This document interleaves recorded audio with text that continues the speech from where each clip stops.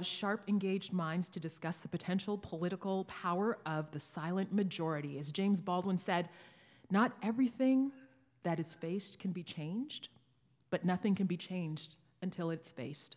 So we're going to face it right now. So I want to ask each of you about revisiting To Kill a Mockingbird in 2018 in the climate that we find ourselves in.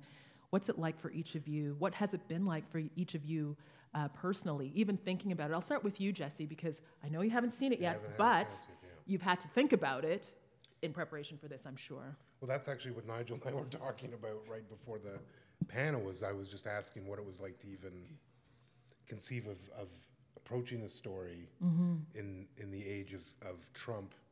Um, because you you know I think it is there's risk there uh, uh, that your intention as an artist wrapped up with Harper Lee's intention as an artist wrapped up with whatever happened that morning in the news yeah. means that the audience's relationship to that material is going to really be ever evolving moment to moment uh, and that's interesting especially you know yeah in the political times we live in and the discourse times we live in um, in some ways there's comfort because I think art does that discourse better than the, the media does right now. So it's actually maybe better to sit in a play for two and a half hours yeah. and have that that like that as opposed to sit in front of CNN, which I can't imagine doing that for two and a half hours. Or sitting hours. on Twitter for two and a half or hours or something do terrible. That. Tell me about engaging with the with the with the work to kill a mockingbird. Uh, I'll go with you, Nigel, and then Irene in the, in the beginning, I, I, was I was incredibly uh, uh, trepidatious to to take on the project. I I'm um, I'm uh, acutely aware of, uh, of, of people's relationship with the novel and and the and the film, um, but uh, I started I started working on this last May. that's when Antoni asked me to take it on, and I, I, I originally said no.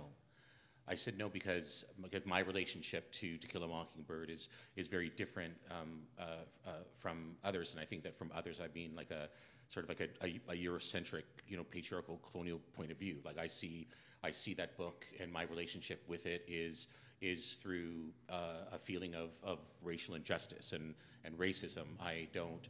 I, I never did uh, connect with it with uh, with a um, uh, a, a, heroic sensibility to, to Atticus Finch. It's not that he, he there, you know, he, he was in that time uh, uh, uh did uh, did uh, very heroic things, but for me, the the, the novel and the and the film had always sort of marginalized me.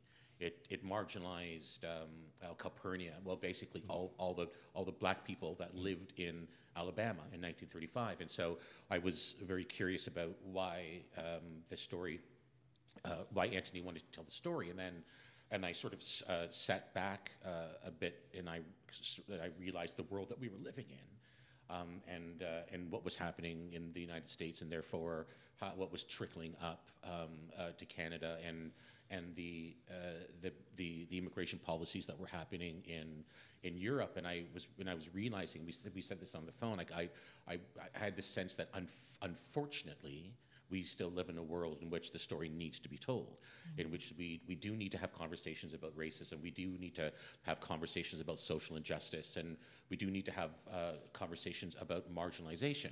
Irene, what about you about uh, in, engaging with this? Because you are playing the adult scout, and now you're reflecting back here, and uh, and you have this cast with you of it's a mixed, obviously a mixed race cast. Um, and I just wonder about engaging with it and what, what amongst you and your castmates you were thinking or feeling when you had to confront the material. Well, um, I was in uh, Quebec last summer. I, I, guess it was in August. I had just arrived, this 10 hour trek, two days with my two kids to the eastern townships.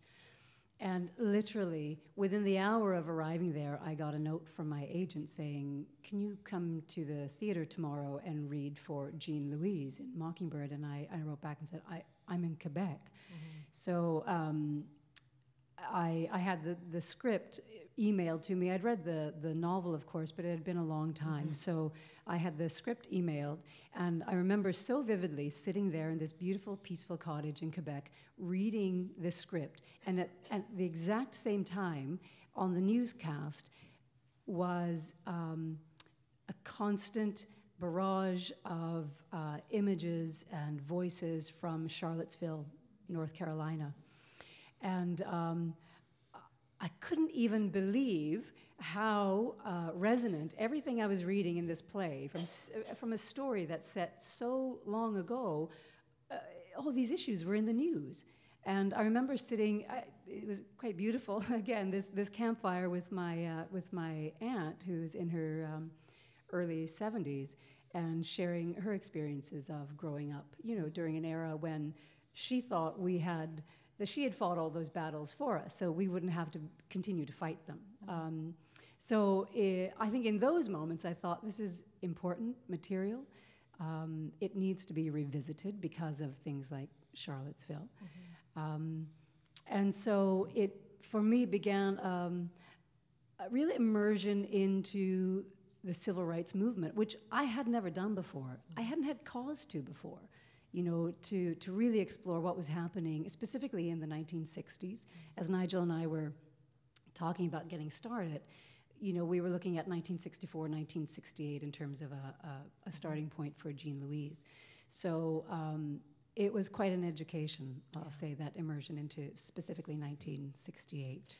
Today, we, we want to talk about how you find your voice within all this. If this, if this makes you feel uncomfortable, if, if, if seeing the way that the world is unfolding makes you feel uncomfortable, how do you push back against it? So I'm, I want to talk about pushing back and finding that inner courage to be a voice. We, you work in the arts, in the arts sector, um, that's one way. But I want to talk about the ways personally that you are pushing back against what we're seeing right now as being a very important time in our history. And I'll start with you, Irene. Well, I suppose as an artist, first of all, Yeah, I- I think there's great power in storytelling. Um, as we were saying earlier, I, I mean, I, I sometimes joke with people who come up to me who have seen Mockingbird and tell me that they've been weeping nonstop for 45 minutes, and I, and I, and I jokingly say, well, that's what I'm trying to do. I'm trying to trap 2,000 people in a theater and make them cry. yes. um, uh, because I think, you know, the, the humanity on stage is a direct connection to every one of those audience members. If they choose to open up and let us in, there is um, immense love and empathy and j- just humanity in what we are doing. We don't always get to do this as artists. Often we are doing shows that make people laugh or make them have no emotional connection at all. Unfortunately, that's just the way the business is. But when we have these opportunities, like we do in Mockingbird, to really, really try and have an impact so that maybe some of those audience members walk out with a different point of view on the world than when they walked in with, I think is extremely, um, it's, it's an, a, a privilege for me to, to think that I might have that amount of impact. And when Nigel and I started this process with Jean Louise of looking at the, the play, you know, as a separate thing from the novel, because at some point you have Yeah. to you have to deal with the words you're given and the story that you're given on the page that you're dealing with. So for us, it was an investigation into Jean Louise's need to find that inner courage, to go back to find her scout, Yeah. to find the child who mm. believed that the world could be mm. fixed if you just asked the right questions and trusted that the adults were going to make it right, that they weren't going to let things slide. Um, so it, it really became that um, the odyssey of of finding the the child, the inner courage, the ability to to look at the world from a certain point of view that I think Jean Louise had maybe lost over years of. Um, Did you feel it yourself? Not as as as just Irene Poole. Oh yes, absolutely. It had a huge impact on me in, in, in many ways. You know, it uh, there's the obvious race relations which are in Mockingbird that we are that we are dealing with in the story. Um, and I remember one night recently leaving a rehearsal uh, here in Stratford, and I watched my two uh, black castmates walk off and they said they were going to go have a beer. And it, it struck me sort of right in my heart where I went, uh, sorry, I thought, I wonder if they are going to be treated differently when they walk into that bar in Stratford, Ontario, than my two white castmates who might go to a different bar. And hopefully they didn't. Hopefully they weren't being treated any differently. But I had that moment of going, my God, this is what they carry a history with them that I can only begin, begin, begin to understand a tiny amount. It's it's I, I can't it's hard for me to remove um, my myself from my work Of course. um, because like it's like it's a there's an there's an accumulation of everything that I everything that I I do now and the art that I make has has to has to uh, be part of me and what my truism is, what my principles and my values are.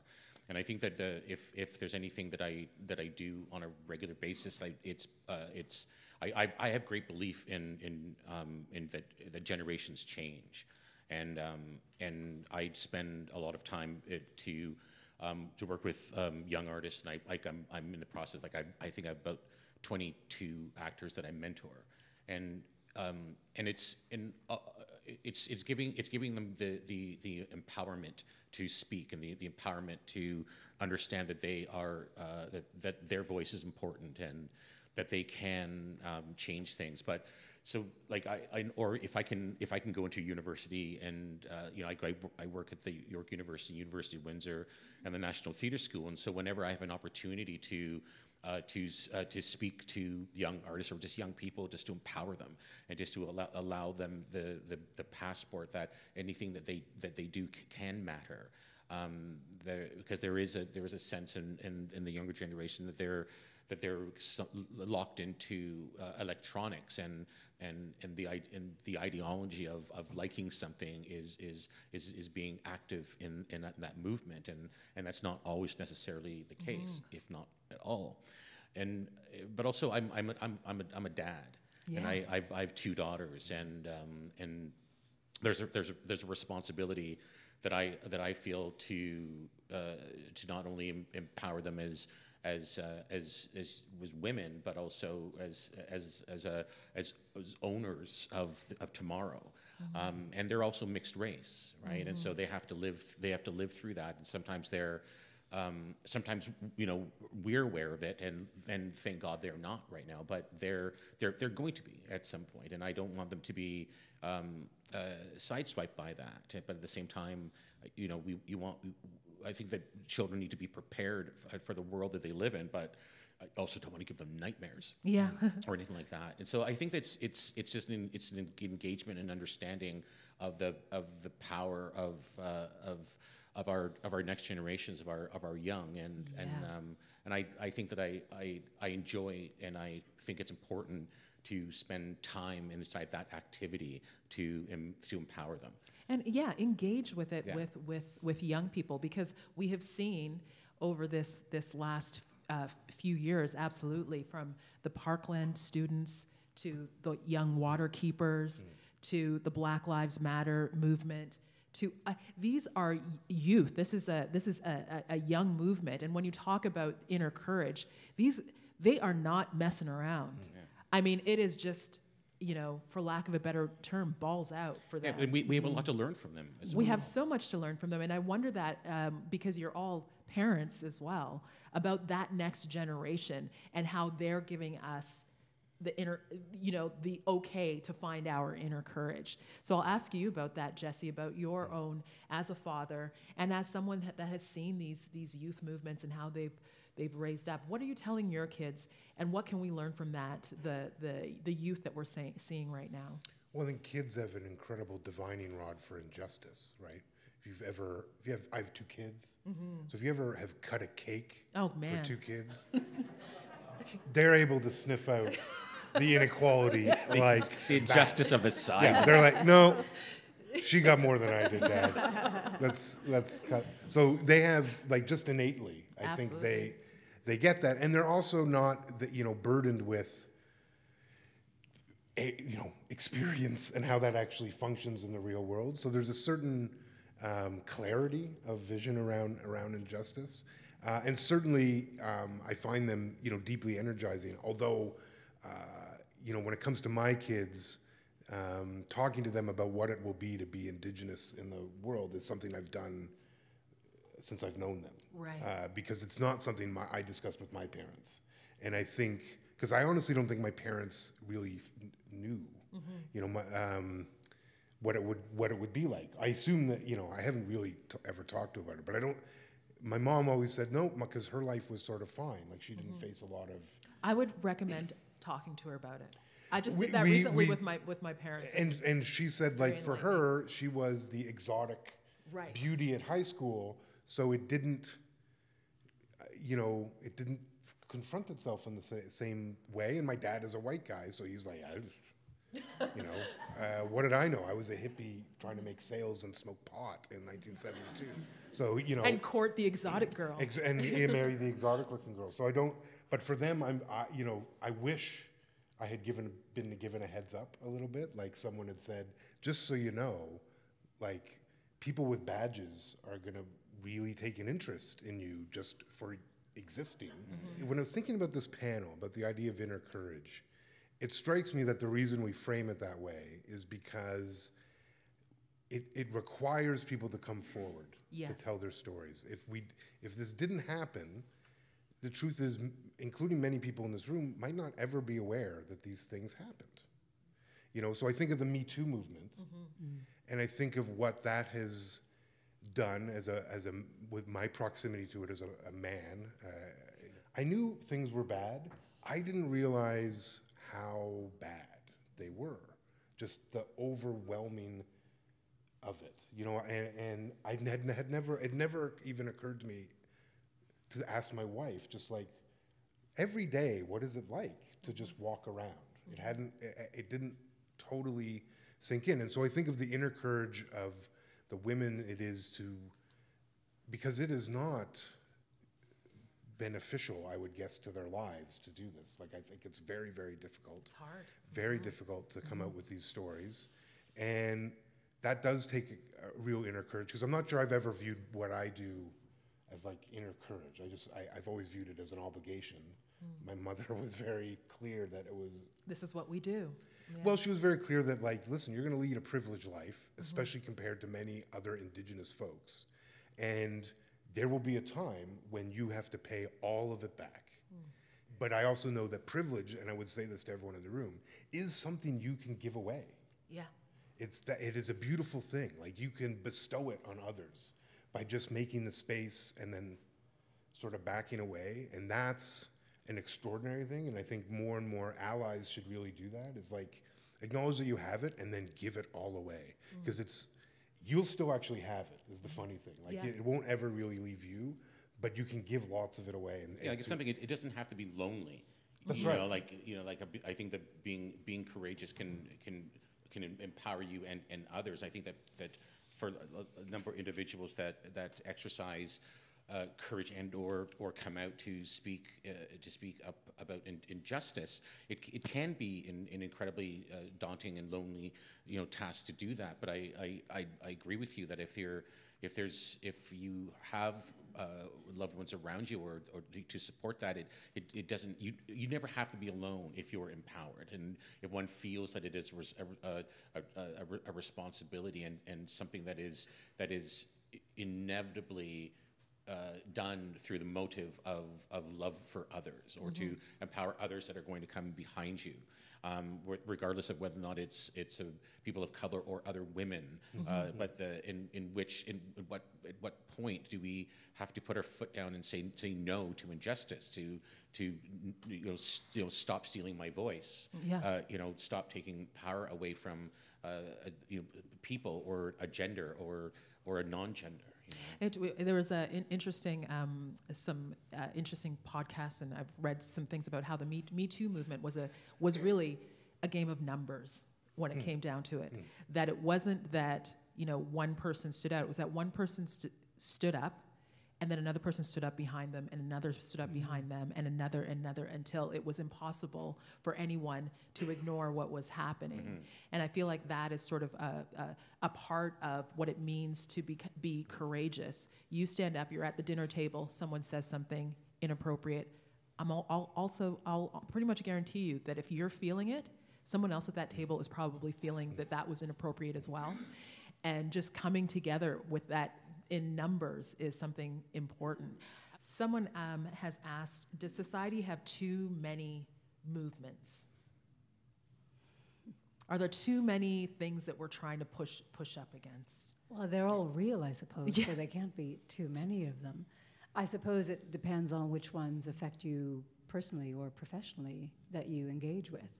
Uh, personally, I think the, the Me Too movement for my industry was a complete game changer. Yeah. It changes every single room I've walked in since it, it happened. Um, and Stratford is very good about being, um, I mean, the Stratford Festival, uh, a leader in, um, you know, workplace equality and respect. Um, but I feel that because of that movement, particularly, there is no going back. There is no going back to a time, I believe, where women can feel that shamed and persecuted and um, belittled. I just don't think it can happen anymore. Uh, partly because of um, the, the, the eyes of other women and men who are watching a, a room and a situation and who are, I think, more willing to stand up and, um, and take a stand against that kind of behavior. So, and the, it does feel like there are a lot of movements, but they all feel very necessary. But every every move every movement is a, is is born and, and, and is a reaction out of wrongs and, and injustices. And I think that it's not that is there too many movements? Is, are there too many wrongs? Mm-hmm. You know, I think that I you know I think that I think that it's like it's it's a it's, a, it's an it, it's an interesting you know question to ask, but it's a it's a terrifying reality that that there that that there there has to be. You know, there's. I don't think there's anything. There's too many movements. There's like there's a there's a there should be much more of a of a want to find the like the, the cause of it all. You know, it's a it's a it's a it, sometimes it's sometimes it's overwhelming to to uh, take in the amount of lies and and crap and bullshit. I'm sorry that happens on that on, on television and on the, in, in politics and, and sometimes around the street. And, and it's it's not it's not it's not the type of world that we that we uh, that we all want to live in. But it, it's it's sometimes why why why is this why is this cancer like why has it been let go? Why is it why has the test tube been been been opened and it's and it's and it's spreading? I think the the, the movement is is is in, is in direct correlation to the to the to the to the darkness that we're that we're that allowing to to take over and and live beside us. Sorry, I got a little angry there. No, I think Don't apologize. And I, and I think Yeah. that you know that feeling of, of being overwhelmed and that there's too many movements is actually a reflection of like that the overculture can often feel like it can only sustain a certain amount of change at any one time. Right. So something I hear, for example, in this moment from organizations is like, well, we're really confronting the women issue. Mm-hmm. So we can't really deal with indigenous right now, you know, because this one is too busy, or we're dealing with indigenous, so we can't really. You're right, because it's overwhelming, it's right? like- 'cause- we can 'cause- we can com- completely forget mm-hmm. about about about like a, a nuclear threat in North Korea because all of our energy and our, our tears and, and, and our, our ulcers are bursting about all these children that are being torn away from our, our, our, our uh, their parents. You know, and I'm sorry, I interrupted you, but No, you're no, absolutely it's- right. It's just like there, there's just there's just so much to take in um, that that that we that we do let you know the Me, the Me Too movement sort of like waver for a second because all of us all of a sudden there's there's an, another shooting in, in a school, right? Or there's an there's an uh, there's another indigenous, indigenous woman that's missing. I, I suppose the danger in being overwhelmed with all the movements is that we just shut down and we, Yeah. we right. shut it all out and go, I can't, I can't do anything about all of this, so I'm just going to do nothing. And, and what we should do is acknowledge that there that there's intersections that the the Me Too movement intersects with the call for Indigenous sovereignty and rights. They're mm-hmm. they're because the attack on Indigenous women, mm-hmm. which is a historic one, is directly rooted in undermining our nationhood and our sovereignty. So they're they're and that we that's the whole point. So that it's good that there is actually all these movements because they're maybe at the first time in a while they're highlighting those intersections or they mm-hmm. should be for us. They should be pointing to us to say because as dr king said you know can i truly be free if you're not? Mm-hmm. And the truth is i cannot. Mm-hmm. So my freedom intersects with the ability for women to have freedom for you to have freedom so I can't pretend that I'm in a movement just for Indigenous people. No, I have to, even when I sit in the room, that may be my primary goal, but I'm always looking for everyone else too, because we, we are we do intersect at those places. So I'm wondering about hope. And, you know, after this conversation, um, the individual lives that we're living, there's a lot of, there's some, some, there's some despair. We're pushing back against things. Are we seeing hope? Where are we seeing the, the, the glimmers of hope? I'll start with you, Nigel, and I'll just come all the way down the, the line. I, I, I guess I, I, I hold the, the hope party line that I, I, I find it in our children. I find it in the in the the activation of, uh, of, of their of their voices and and their their the questions that that they ask and and, uh, and I, and I think that I'm I'm, in, I'm inherently hopeful. I think I get angry uh, and and uh, I, I stay active because it's because I'm not I'm not apathetic and I think that that that is that is because it's, I'm filled with hope. But I also have a lot of I have a, a great love for uh, for for tomorrow's voice and that's our that's our you know our, our, kids and and you know whether they be you know 12 year old 12 years old to or 24 they're they're still they're still in the in that that that that cusp of of uh, of blossoming to to uh, vocalize their change and their wants. So that's where that's where that's where my my hope is. That's that's where I see it. And and as long as as long as there's that we don't we don't surrender into apathy, then something will always happen. I, I agree with Nigel. As a parent of two young people, I, uh, I, I see um, the wonder in them still for a, a, great world to walk out into. I, I, see little activists starting who want to make climate change go away. Mm-hmm you know, and I hope, I, I do, I kind of think about my son. I think, well, maybe you will grow up and you will be the person who helps lead this climate change revolution. Mm-hmm. And we get back on track. Um, and I also, as an artist, have to hope that stories keep helping, that they keep yes. reaching people, and we keep changing hearts and minds through storytelling. Mm. Um, mm-hmm. And you, well, that's a lot of wisdom. Yeah, from, that's a lot. From those two. Um, I agree. I mean, I think it's our duty to give hope to our children. I think to do otherwise is to fail them. So I think it's, especially with Indigenous kids, so I mm-hmm. only want to feed them hope. And to be honest, sitting here, like these things did not happen, mm-hmm. you know, five years ago, mm-hmm. you know, or 10 years ago. Something like this is a, is a signal of that yeah.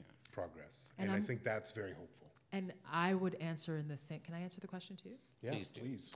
Um, I think that the hope lies in the fact that we we're doing this, and all of you have come out knowing that you are probably in, be in for a difficult conversation, um, and you took the time to to think about these things and and go through this path with us, um, because we're all. I mean, we're all in this together. So just the opening of your heart to have this conversation is hopeful to me.